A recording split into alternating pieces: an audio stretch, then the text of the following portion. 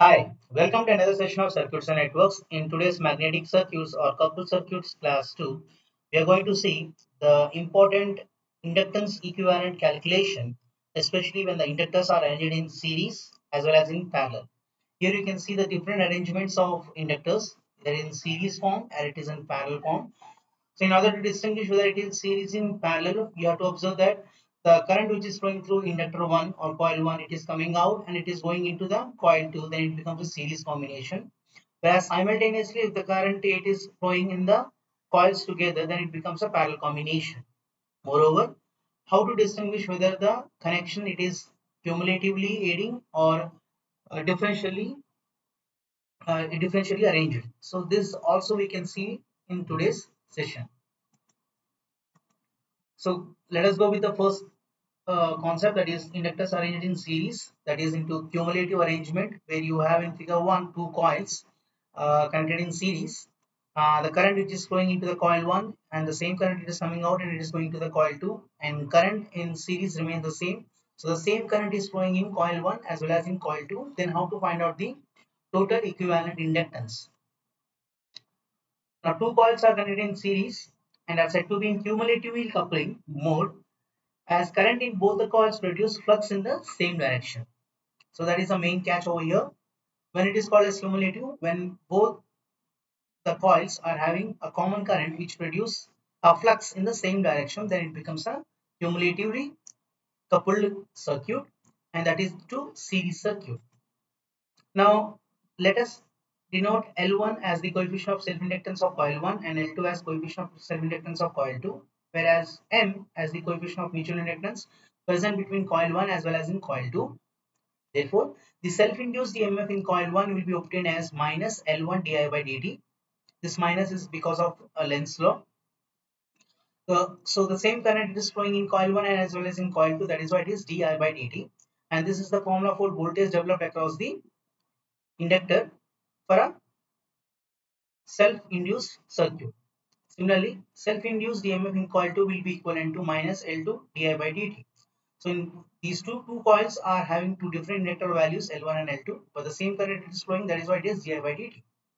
Whereas the mutually induced EMF in coil 1 due to the change of current in coil 2 will be equivalent to minus M di by dt. So here the mutual inductance is formed between coil 1 and coil 2, that is because of the change of the current which is flowing in another coil. So fortunately, it's a series circuit and that too cumulative arrangement. So the same current it is flowing. Hence, the mutually flux which is obtained that is because of the flow of the current in the coil 2 or coil 1 respectively. Similarly, I can also obtain the value of mutually induced EMF in coil 2 due to the change of current in coil 1 as minus M di by dt. So both will be the same. Now the total induced EMF will be equivalent to B that is given by minus L1 plus L2 plus 2M. Why this plus 2M? Because two coils that's why one mutual inductance from each coil. So that becomes total value as 2M di by dt and we know that the equivalent inductance the total inductance value will be given by L. So V is equal to minus L di by dt. So here you can equate equation 1 with equation 2 so that L will be equivalent to L1 plus L2 plus 2M. So this is the formula for total inductance when the coils are cumulatively arranged in this fashion. What if suppose the fluxes are opposing in the coil 1 and coil 2 means what differential arrangement. For differential arrangement you can see the current which is going to flow in coil 1 and coil 2. This is how the current it is going flowing in coil 1. It is coming out and it is flowing in coil 2 and it is coming out like this and finally the current will come out like this. So this type of arrangement it is known as differential arrangement where the flux produced will oppose the two coils in either directions. So this type of arrangement is called as differential arrangement. So the total induced EMF will be equivalent to minus L1 plus L2 minus 2M di by dt. Why this minus 2M? Because of one mutual induced voltage that is flow of that is due, due to the flow of current in the coil 2 so in coil 1 you can reset with coil 2 and also if at all you want to account it for coil 2 when the flow of current in coil 1 that will be also equivalent to m. So overall the value will be equivalent to uh, m plus m it becomes 2m and this minus indicates that it is flowing in the opposite direction. The flux is produced in the opposite direction. So overall v will be equivalent to minus L divided by dt so that the value of L will be equivalent to L1 plus L2 minus 2m now from equation 6 and from equation 3 we can easily reduce the formula for the total inductance whether the arrangement is cumulative or differentially placed. Now what if the inductance are required to calculate in parallel circuit? So in figure T you can see coil 1 and coil 2 are in parallelly arranged and we need to account it for total inductance. And if at all the current has to flow the current will flow at this particular node and it will be divided into two halves that is current I1 and I2. So the, for the cumulative arrangement this is the uh, figure which is shown in 3 the coils are in parallel. Uh, so that the self-induced EMF in coil 1 will be equal to minus L1 di1 by dt and similarly in coil 2 will be minus L2 di2 by dt and if at all I want to have the mutual inductance the mutual induced EMF in coil 1 due to the change of current in coil 2 will be equivalent to minus M di2 by dt similarly Mutually induced EMF in coil 2 due to the change of current in coil 1 will be equal to minus M di1 by dt. So total induced EMF in coil 1 will be equivalent to minus L1 di1 by dt minus M di2 by dt.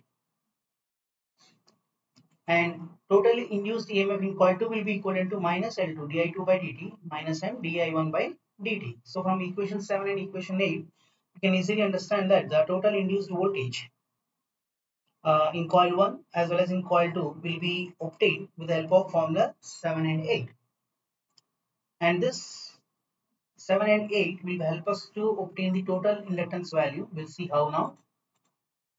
So since both the coils are connected in parallel the emf induced in both the coils must be equal.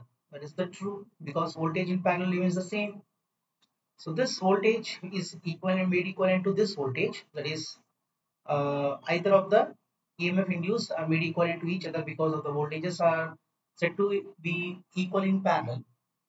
So with these two arrangement, I'll take this L1 on RHS side and L2 on LHS side so that the value of arrangement is L1 di1 by dt minus M di1 by dt it will be equivalent to L2 di2 by dt minus M di2 by dt. In fact, I can take this di1 by dt as common so that the L1 minus M will be equivalent to di1 by dt equal to L2 minus M di2 by dt and di1 by dt in terms of L1, L2 and M is obtained as in equation 9. I hope you understood how we have framed equation 9. Also we know that I is equal to the total current will be equivalent to I1 plus I2 then it indicates that di by dt will be equivalent to di1 by dt plus di2 by dt. Just substitute the value of di1 by dt from equation 9 in this equation so I'll be getting the value of di by dt will be actually equivalent to L1 plus L2 minus 2m by L1 minus m di2 by dt and this I'm treating as equation 10.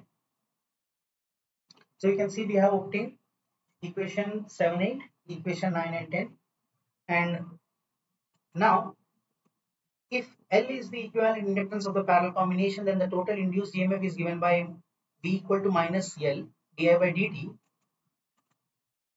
Therefore, L di by dt will be equivalent to L1 di1 by dt plus M di2 by dt. This is nothing but since the induced EMF in parallel combination is same as the induced EMF in any one coil, that is why you are taking this formula. L di by dt is equal to L1 di1 by dt plus M di2 by dt. Now just substitute the value of di by dt by taking L in denominator of this particular equation. So 1 by L, L1 di1 by dt plus M di2 by dt Already we know that di1 by dt in terms of di2 by dt is obtained to be L1 L2 minus m by L1 minus m di2 by dt. Now taking this di2 by dt as common, I'm going to get 1 by L L1 L2 minus m by L1 minus m plus m di2 by dt. So this treating as equation 12. Now just equating equation 10 and equation 12 because already we have from equation 10 the di by dt value and here again from 12 you again we have di by dt value so we are equating these two values so that this equation 10 RHS and equation 12 RHS will be equivalent to like this and you have to remove the unlike terms di2 by dt and di2 by dt will be cancelled over here and I will get the value of L. L I will take on the left hand side of the numerator and this entire thing I'll take on to the denominator of this particular parameter. So L will be equivalent to L1 L2 minus M by L1 minus M plus M divided by L1 plus L2 minus 2M by L1 minus M. In fact, I'll take the multiplication in proper way such that L1 L2 minus L1M plus L1M minus M square by L1 plus L2 minus 2M. So overall the value of inductance will be equivalent to L1 L2 minus M square by L1 plus L2 minus 2M. Now this is the formula of total inductance when the two inductors are placed parallel and the two the arrangement is cumulative. So this is the formula of total inductance. Likewise, if at all we have differential arrangement such that the current it is flowing in this fashion, you can see the coil 1 and coil 2, the current it is flowing such that the flux produced in the coil 1 and coil 2, they will be quite opposite to each other. So they will not aid each other, they will oppose each other.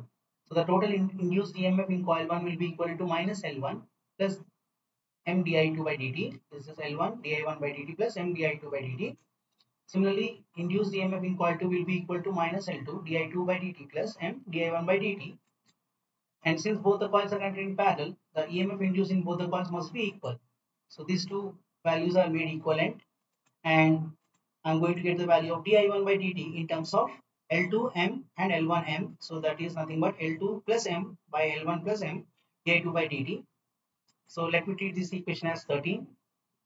So the same derivation what we have done. Only the thing is that here the change of the signs are obtained previously we had here minus and minus now we got here plus and plus. That's the difference. Uh, also we know that i is equal to i1 plus i2 for parallel arrangement. The com combination of current is nothing but the sum of the two currents. So di by dt will be equivalent to di1 by dt plus di2 by dt. Already we have framed from di1 by dt from equation 3 13 and i'm just replacing the values. So that i am going to get the value of di by dt will be equivalent to L1 plus L2 plus 2mi L1 plus m di2 by dt. Let me treat this equation as 14. So di by dt in terms of 14 equation we have obtained for differential arrangement. Now if L is the equivalent in inductance of the parallel combination, we know that we will be equivalent to minus L di by dt and total inductance value is nothing but the total inductance L di by dt equal equivalent to L1 di1 by dt minus M di2 by dt. In fact, di by dt so taking this L in the denominator of this particular parameter. And in fact, I'm going to take di1 by dt whose value is in terms of di2 by dt is obtained to be L2 plus M by L1 plus M di2 by dt. Taking di2 by dt common over here, I'm going to get di by dt.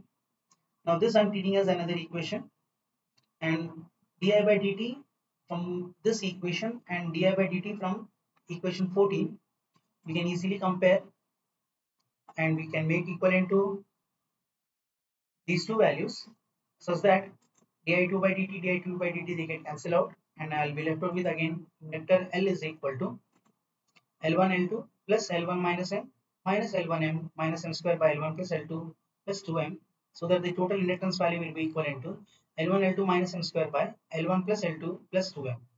So this is the formula for total inductance for differential arrangement for parallel circuit. So in this class, we have seen uh, figure 1, figure 2, figure 3 and figure 4, the different types of coil arrangements in series, cumulative, series, differential form, in parallel, cumulative and in parallel differential form. And the formulas we what we have obtained is L1, L is equal to L1 plus L2 plus 2M for cumulative coupling and L is equal to L1 plus L2 minus 2M for differential coupling. Whereas for parallel circuit, we have inductance is equal to L1 L2 minus M square by L1 plus L2 minus 2M. Whereas for differential arrangement, the value will be L1 L2 minus M square by L1 plus L2 plus 2M. So in the next class, we are going to see different numericals involved with uh, inductance which are arranged in series and in parallel. And we'll try to find out the mutual inductance or coefficient of coupling or overall inductance of the coil. That is what we are going to see in the next class. Till then, please stay connected to channel and please subscribe to our channel. And please press the bell icon for future notifications. Thank you.